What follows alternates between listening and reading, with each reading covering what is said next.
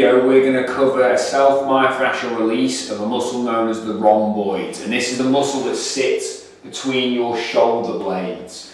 Now this is a key area that often carries a lot of restriction of movement that stops us being able to bend down and touch our toes effectively. So for this exercise, you're going to need a ball. Now ideally with this, a tennis ball is perfect. It's got a little bit of give in it because there's not a lot of tissue covering the rib cage and the back.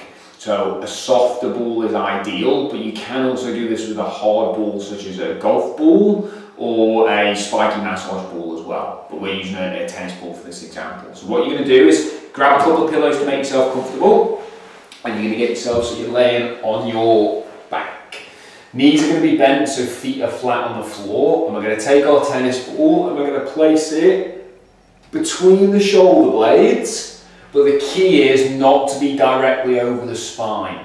So you're going to have your shoulder blade at one portion and you're going to have your spine at the in the middle and you're going to want to be on the muscular tissue between the two. Now, then keeping your feet flat on the floor and your elbows on the floor, you can gently wiggle and roll yourself around little circular movements using your elbows and feet to control the pressure and you will work over some quite tender spots.